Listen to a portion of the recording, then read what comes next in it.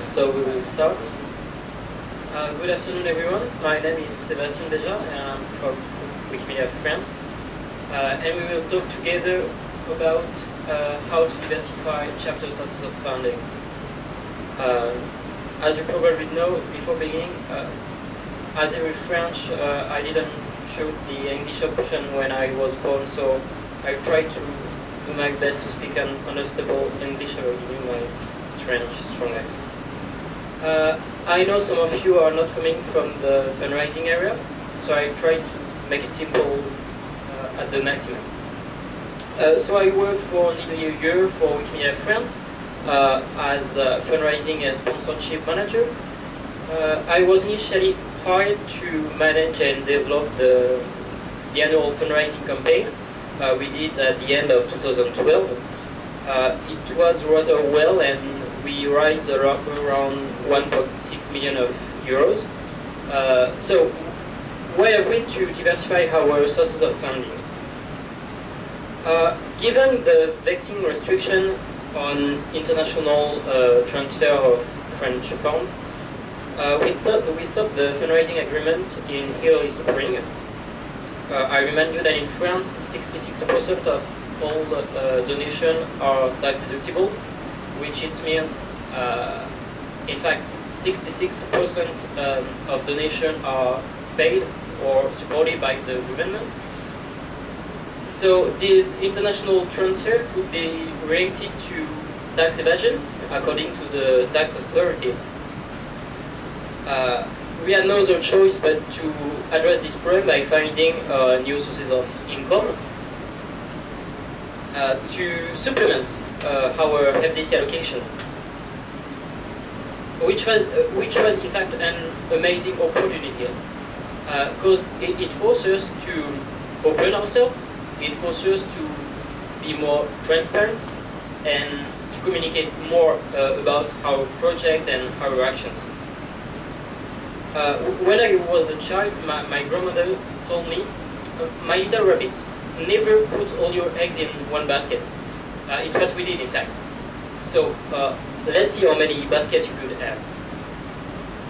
Uh, in 2012, uh, as you can see on the graph, 97% uh, of our revenue were composed of donations, and uh, almost all of them came from the fundraising campaign, and only 3% came from other sources, from membership, subsidies, and financial products.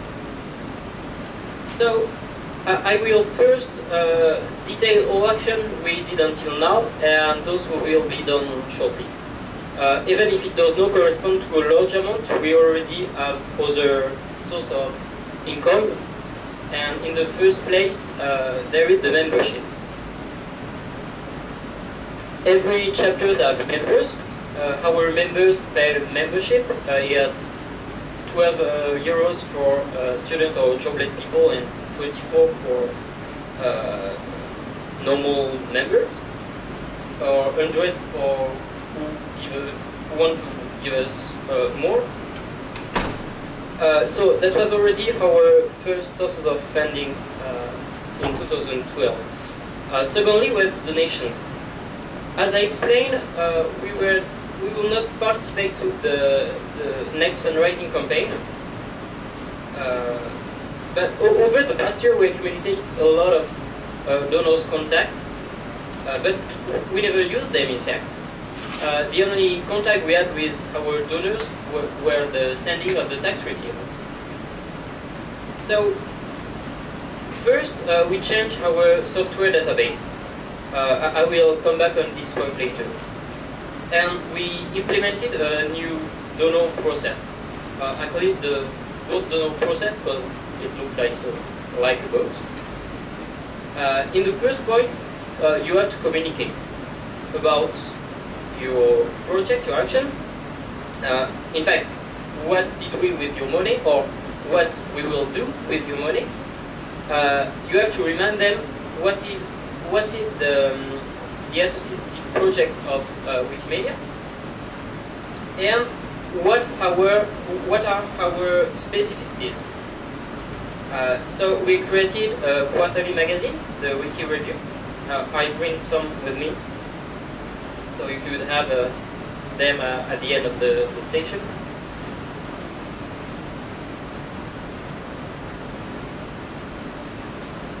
Uh, you have to involve uh, your members in your project and understand what are their motivations. And of course, you, you have to request. You, we are here to ask for money, so you have to develop an argument based on our specification, first point, and their motivation, the second one. And you have to you have to say thank you. Uh, I think it's the most important part of all the all the process. Uh, if you forget it, you can be sure they will not give you again. Uh, and to finish, there is the loyalty. You have to you have to involve them, uh, to invite them to the meeting you're planning to do in their town, to keep them in touch with your agenda. Uh, it's up to you, but you, you have to to do something about that. Uh, to avoid exhausting our database quickly and smoothing our review on the on the year, we propose to our donors to have a kind of monthly donation by automatic debit. Uh, besides, if some of you are interested, we develop uh, and we pay the necessary development of CiviCRM extension to, it, to the establishment of the automatic debits according to the European standard, the SEPA. Uh, and this software is open and free, so if some of you are interested, we can talk together about about it. Uh, and I'm looking for co-funding uh, for new features uh, through Make It Happen uh, campaign. So uh, we can talk together about uh, this point. Among our donors, some people make donation occasionally larger than the average amount. So we decided to set up a group involving, involving this category of donors uh, in the major donor circle. Uh, this individual donor are subject to a special solicitation plan, uh, which is in several stages. In the first step, we have to identify them. Uh, we extracted them from our database uh, according to criteria like uh, donation, uh, the amount of donation, the frequency, uh, the place where they live. Uh, anyway, and uh, second, we, we have to communicate to communicate about the circle uh, to these people by highlighting the fact uh, that this group is for uh, VIP donors only. for example, the wiki review is print for major donors and sent by email for uh, classical donors. Uh, this is what I call the silent step, uh, where we presented uh, the, the project, we communicated about it, and in the same time we prepare uh, communication tools for uh, this kind of donors. In the second step, we will communicate about project they could support.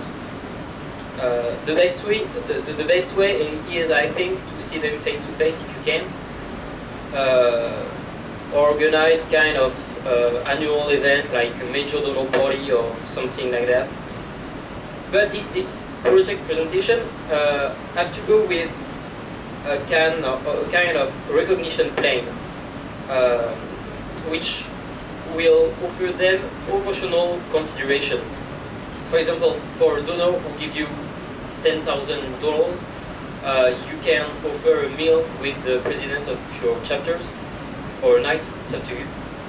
Uh, but if you have a medium or a long-term project um, and, and you want to finance it, uh, to finance a part of a lot of uh, all the projects thanks to your major donors, uh, the best way is to work in capital campaign method for those who already participate. Uh, keep in mind uh, the gratitude and the loyalty uh, for your donors, especially for major donors. Has four times less expensive in terms of time and money than to find another major donor. Uh, next point, we have the call for projects. We have now resolved to match as much as possible uh, our projects with call for projects uh, launched by foundation or corporate organization or public corporation. Uh, for example, the Orange Foundation launched uh, early June a call for project for digital international project. Uh, the, the topic was the digital as a lever for development.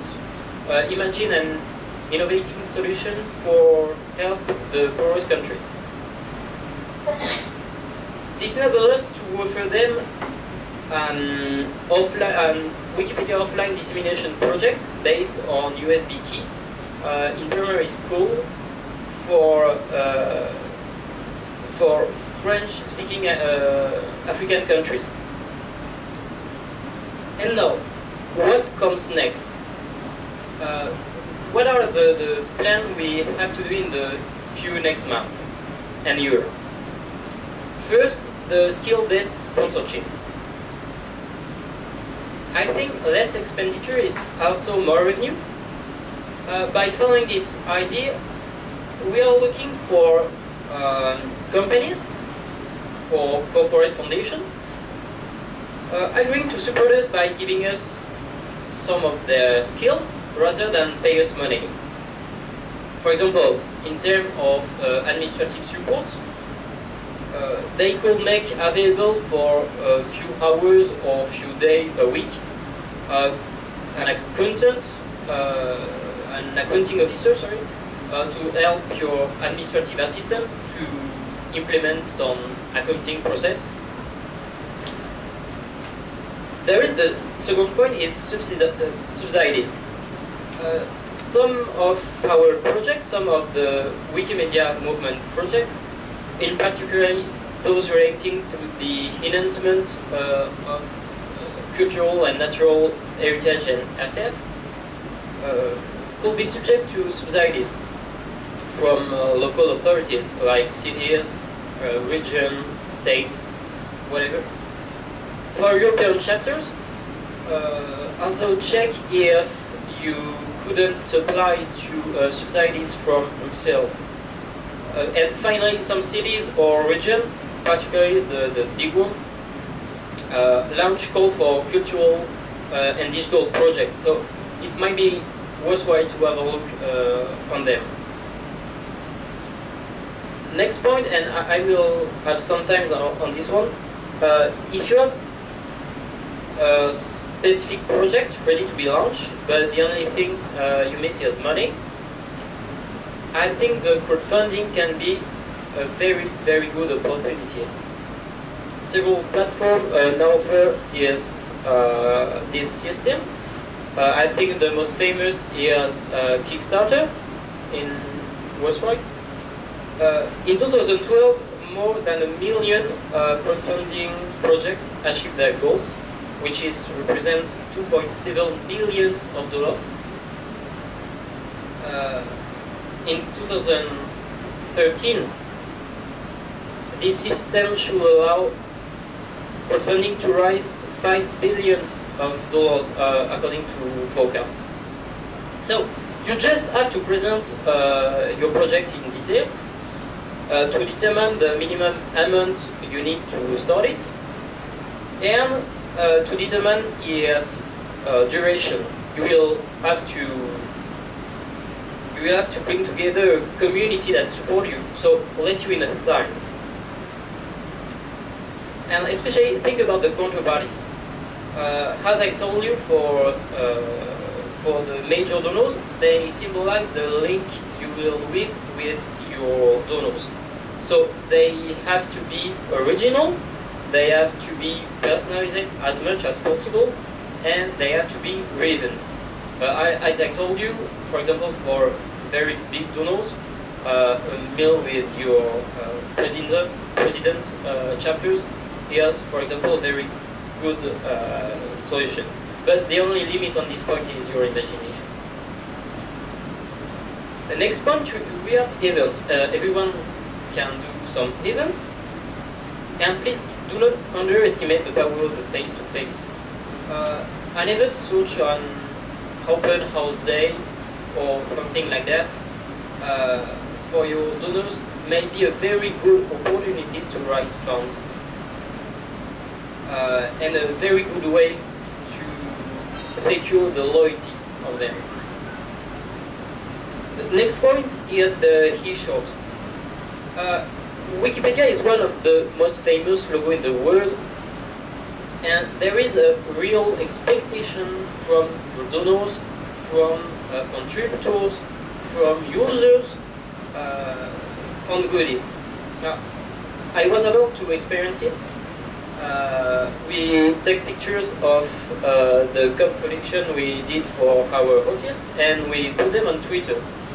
The next day, I had I had a tidal wave of demand. Uh, where can I where can I buy them? I'm sorry, we, you can't. Uh, so I think it's a very good point and another interesting uh, point to develop. Uh, and the last one, but uh, that is a non-exhaustive list, and you could find uh, other way to finance your project. The, sponsor the sponsoring. Instead of patronage or philanthropy, or call for projects, uh, companies which involve them uh, financially receive um, compensation. it could be advertising, logo of the, of the companies on your project, companies, project name. Anyway, uh, sponsorship can be financial, everyone know that, but it can be technological too, or based on skills of the companies. But uh, I want to advise you, uh, if you get yourself in a sponsoring process, uh, to fund a project with a very big company, please be careful they will easily swallow your communication through their communication power. Uh, you have to be careful about how they will use your image, how they will use the image of your project, and how they will speak about your project. Uh, in my mind, in any case, check the sponsoring agreement with a lawyer. I, I think it will help for a lot of uh, bad surprise. And that brings us precisely to the last part, the limit of the income diversification. Uh, still keep in mind uh, the values that make us strong. I mean, uh, we are fundraiser. I am fundraiser, and I'm here to find uh, new sources of uh, revenue of income and to develop them. I'm not here to sell my soul at the devil for discount. Uh, so, moreover, limits are, are sometimes tenuous and difficult to identify. Uh, for example, must we charge the, the training contribution we do for uh, companies? Or, uh, yeah, or private organization uh, as a new sources of incomes? some of you think so, uh, others think no. Uh, on behalf that the, the principle of Wikipedia is it's free and open. But uh, charging our training, does it not allow us to give it a value to this one? And this is not a way to to engage our partners. So, but I, I think more global, uh, this problem right the question of does uh, something that costs nothing is it worth anything? But I, think it goes behind the the problematic of the diversification of our revenue.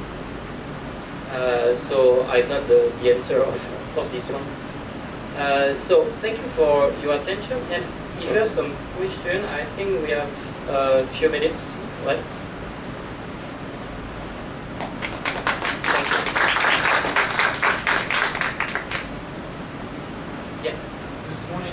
Sue Gardner's, like, you know, uh, sorry, no, Erik Moeller, when he was giving tribute to Sue Gardner, was uh, commending her for going away from diversifying funding. What do you think about that? I'm not agree with him. Okay. Um, as I told, I don't think to put all our eggs in one basket is a good thing.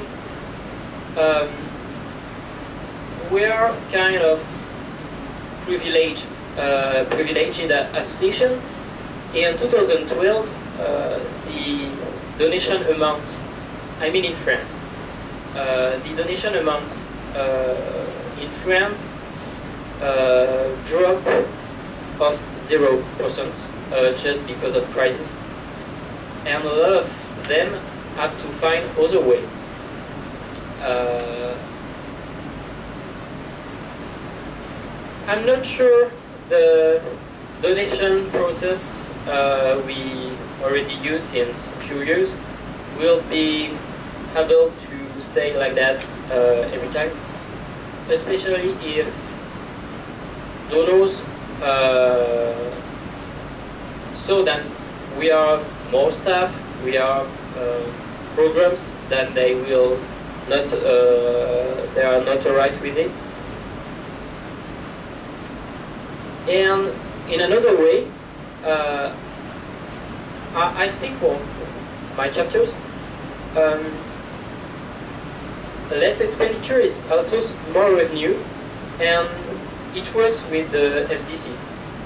Uh, for example, if half of uh, the, the revenue of uh, Wikimedia France come from other uh, from uh, other sources, we will ask half less to the FDC. So it will be 500,000 euros more for other chapters. So maybe it's not the solution to every chapter, and I'm quite sure about it, uh, especially because every chapter have enough staff to work on these questions.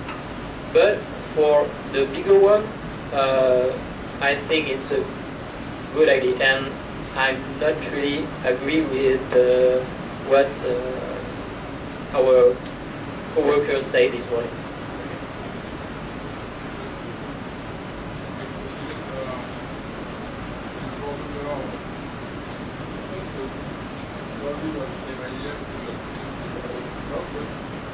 Foundation is not a chapter or it's not the same situation, same financial situation. And now you see that the students work and they're working greatly. The things are stable with, uh, with this process. We are not. Uh, we, are, our way to, to have revenues have changed a lot during the years. We are now in the AT.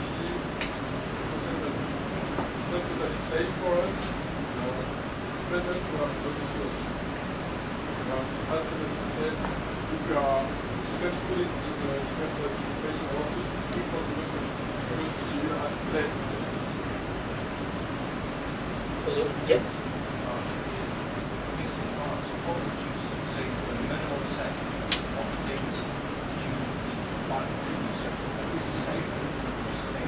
Oh, uh, I, I think as much as possible, but uh, of course, uh, th there is not really a minimum. Uh, I mean, for example, this year, uh, the, the FDC allocation was 75% of what we asked for, but our project was the 100%. So we have to find, uh, for example, this year, uh, 2,000, 200,000 euros uh, to keep our budget on the on the road. So this year we have to find uh, 200,000 euros uh, in another way than just the donation.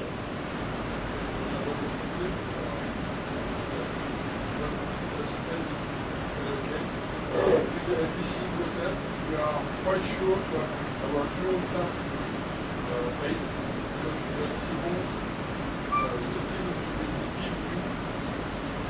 the cost for current staff, to have more staff might need uh, find resources because the FDC process designed can only have 20% more than what is requested last year. So if you have something more than that, Uh, if you have more questions, uh, we can talk together later, but I will let the, the place to the workers.